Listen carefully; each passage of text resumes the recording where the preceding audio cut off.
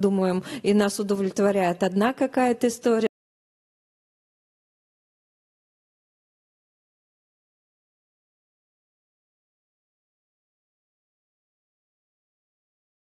клиентоцентричность, поэтому совершенно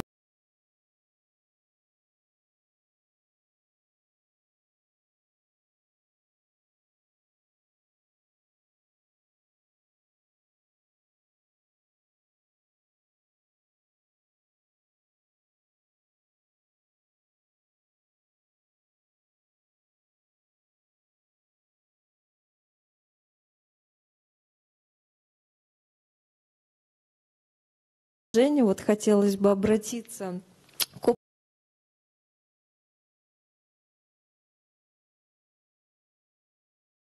из Министерства экономики Азербайджанской Республики. У нас сегодня целых два докладчика Майя и Кимран. Скажите, пожалуйста, как у вас запускаются процессы клиентоцентричного государства?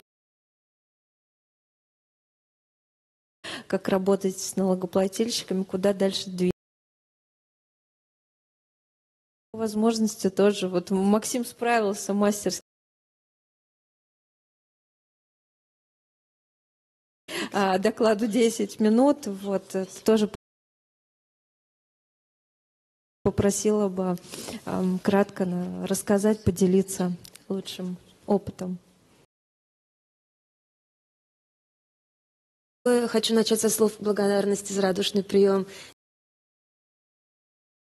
и за предоставленную возможность э, пообщаться и приобщиться к опыту коллег. Э, что касается необходимости э, внедрения принципов клиентоцентричности, даже человекоцентричности со стороны Государственной налоговой службы при, при Министерстве экономики Азербайджанской Республики, то так же, как и во всем мире, изначально внедрение каких-либо новых процессов, программных сервисов и тому подобного осуществлялось у нас э, в административном, можно даже сказать, в императивном как бы, формате, то есть без учета каких-то пожеланий, требований клиентов, как внешних, так и внутренних, и что по итогу чаще всего приводило к какой-то негативной ответной реакции. Иногда это мы сталкивались с формализмом каким-то э, в процессах, а также э, чаще всего к поиску окольных путей со стороны э, как внешних, так и внутренних э, клиентов при решении, при как бы, реализации этих процессов. И автоматизация всех рабочих процессов Государственной налоговой службе, начавшаяся с 2006 года, и вообще как бы развитие по всему миру информационных технологий привело к тому, что как бы эти проблемы стали возникать на регулярной основе, и по итогу как бы все мы как все во всем мире поняли, что надо переходить аж от машиноцентричного подхода к антропоцентричному подходу, то есть надо при проектировании систем учитывать как бы все потребности, желания, возможности клиентов. И по итогу э, Государственной налоговой службой была как бы взята на вооружение концепция клиентоцентричности, и уже на форуме, который, на налоговом, ежегодном налоговом форуме, который проводился в этом году, было объявлено нашим руководством, что как бы мы применяем, начиная, если уже активно применять принципы клиентоцентричности, и также э, было как бы уже дана информация о том, что мы начинаем как бы использование лабораторий пользовательского опыта. И что касается истории самой создания, самой истории создания нашей лаборатории, то здесь мы очень обязаны опыту, которому мы переняли от вас. И еще раз хотим выразить признательность ФНС и налог-сервису. Э, то, что вы сделали в течение двух лет, и как вы нам все это рассказали, нам сократило наш путь создания, как бы наш клиентский путь он стал более коротким, и уже в апреле мы сами создали пилотный проект лаборатории пользовательского опыта, начали как бы проводить там уже наши исследования. И также по ходу параллельно у нас проходит процесс майнинг, оптимизация рабочих процессов, создание ситуативных и э, проактивных услуг. Ну, об этом поподробнее расскажет Камран. Спасибо. Спасибо большое, Майя. Но мы всегда рады делиться опытом, да, выступать товарищем. Кемран, включите, пожалуйста, микрофон. Добрый день. Здравствуйте, уважаемые коллеги. А, учитывая э, короткий регламент, я постараюсь динамично, быстро, да, динамично пройти.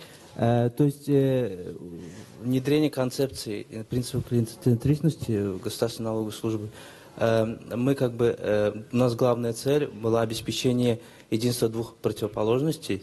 Э, это э, в данном случае внутренний клиент, служащий налогового органа, и внешний клиент, налогоплательщик.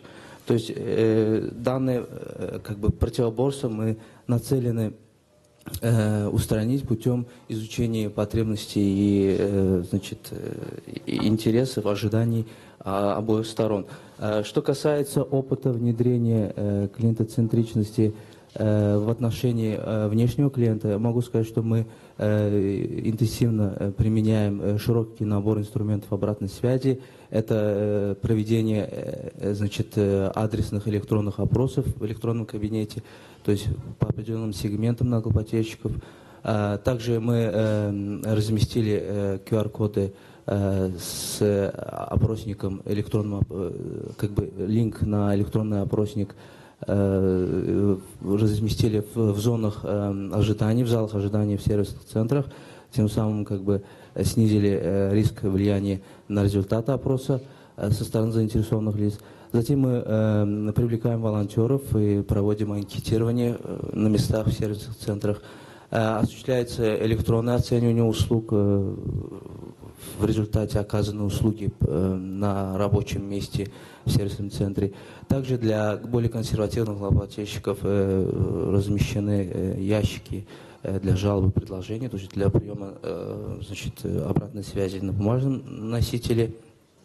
Затем мы проводим личное анкетирование во время выездных мониторингов, э, когда э, работники Главного управления по обслуживанию налогоплательщиков выезжают на места в регионы, и на местах помимо мониторинга и методической поддержки нашим работникам мы как бы проводим параллельно и анкетирование. Затем мы осуществляем обзвон налогоплательщиков, которым были оказаны различного рода услуги, там адресные услуги, и тех, которые были э, которые участвовали на встречах. Э, Касательно создания лаборатории по тестированию, мы э, э, пилотировались в апреле текущего года. Мы начали с трех услуг. То есть за короткий срок, срок мы э, выбрали помещение, там оборудование, программное обеспечение, в том числе и программа для захвата взгляда и э, необходимое то есть оборудование. То есть за короткий срок мы в пилотном режиме э, создали себе небольшое уютное местечко, но над этим, конечно, будем работать, над дизайном, над ремонтом, это все будет сделано в ближайшее время. Да, мы начали с э, трех, трех услуг, это письма, которые посылаются налогоплательщикам, которые, э, которые э, зарегистрированы были недавно. То есть это как бы стандартные письма, которые посылаются. Плюс э, письма, которые посылаются налогоплательщикам, которые вовремя не предоставляют декларации или вообще не предоставляют. И третий продукт это был онлайн-очередь сервисные центры. Как и пророчили нам коллеги из ФНС, одно из сложных моментов это был выбор респондентов, подбор респондентов, которые которые как бы подходили под как бы, наш этот профиль респондентов. Да, мы как это делали, в первую очередь посылали письма, потом э, смс-ки, э, объявления в социальных сетях на сайте выставили, ну и плюс осуществляли интенсивный обзвон, и, можно сказать, уже более семи респондентов прошли через эту лабораторию. Были достаточно неожиданные результаты. Ну, над этим мы работаем, анализируем, и в дальнейшем, естественно, будем пользоваться. Помимо этого, в рамках лаборатории на основе опыта ФНС у нас было составлено соглашение об исследовании пользовательского опыта. Оно подписывается сторонами, и там отражены э, обязательства обеих сторон касательно э, значит, конфиденциальности информации, э, которая была получена во время исследования, а также как бы, разрешение респондента, стороны респондента о виде регистрации и так далее. И есть определенные планы на будущее. Мы собираемся э, как бы э, также привлечь компанию, но э, из-за того, что это, конечно, дорогое удовольствие, мы собираемся создать лабораторию уже в, как бы в составе э, нашей службы, нашего, нашего управления, привлечь дополнительные силы, UX-специалистов, ребят, которые работают в смежных, близких сферах, на, основе, на контрактной основе. Думаю, это будет более эффективно, потому что они будут работать вместе с нашими работниками, госслужащими, и эти UX-специалисты будут обладать более актуальной информацией в сфере налогообложения электронных услуг. А также после реализации лаборатории мы собираемся как бы внести, э, разработать юридическую правовую основу для того, чтобы все услуги и всякие изменения э, в продуктах, услугах обязательно проходили через лабораторию. Э, также коротко скажу о внедрении эм, принципов инклюзивности. Это как бы очень важный момент. Необходимо создать равные благоприятные условия для всех налогоплательщиков.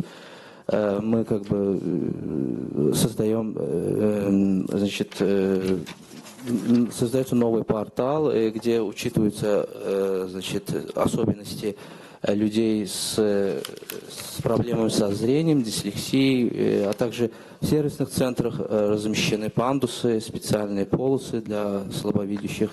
Также на оборудовании, предназначенном для лопатчиков, мы размещаем шрифты с надписями алфавита Брайля. Также в рамках проекта внедрения клиентоцентричности мы планируем внести, э, в смысле разработать и создать несколько услуг, в том числе э, ситуативные услуги. Это э, портал регистрации контрактов, арендов, аренд, э, где будет э, э, в едином портале будет регистрироваться а, арендные контракты на основе информации из государственной службы, государственной службы по делам имущества, а также будет оплачиваться в проактивной форме э, арендные платы, а и также будет э, взиматься налог у источника. И на основе этой услуги мы собира, планируем создать проактивную услугу, это регистрация хозяйственных субъектов, так как тут уже контракты будут электронными, мы уже сможем регистрировать в проактивной форме субъекты, объекты э, хозяйств. Также э, проактивное, планируется создание проактивного предоставления квитанции об уплате э, фиксированной суммы по упрощенному налогу, по социальным страхованиям, медицинскому страхованию. Также это уже у нас на завершающем этапе, потому что юридическая нормативная база была создана. А сейчас ведутся работы над технической стороной. А также э, третий момент – это создание ситуативной услуги «Хочу стать предпринимателем». То есть там единый портал, где предприниматель сможет, не обращаясь в разные структуры, госорганы и разные электронные услуги, сможет за раз, э, как бы за одно обращение, то есть э, легализовать, зарегистрировать все, что необходимо, пройти процедуры в рамках одного портала. Э, регламент закончился. Хотел бы коротко, если вы не против, сказать и о другой стороне. Естественно, эта монета состоит из двух сторон. Это не только внешний клиент, но и внутренний. То есть тут необходимо учитывать человеческие факторы. Человек, в отличие от машины, он более э, как восприимчив к внешним факторам, и он более реагирует чувствительно к всяким изменениям.